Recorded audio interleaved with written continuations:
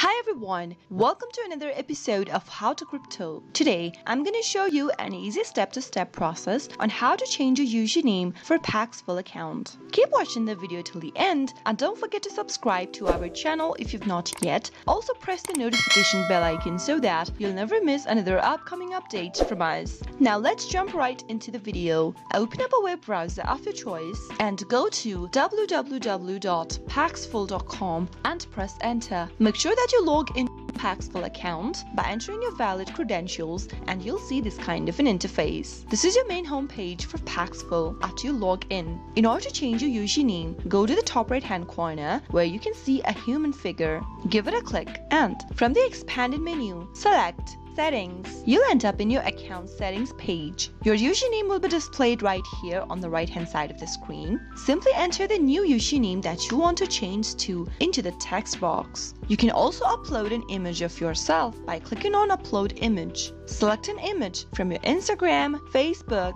or any other options over here and upload a profile picture for yourself. Click on upload after selecting a picture. Once you've made necessary changes, click on the save button right next to your username and in the pop-up, click on set username. Remember that once you set your username, you won't be able to change it later. Click on set username to confirm and there you have successfully changed to your username for Paxful. That was how you can easily do it. I hope you found the video to be helpful. If it was, go ahead and give us a thumbs up. I'll be back soon with more tutorial videos like this. Thanks for watching.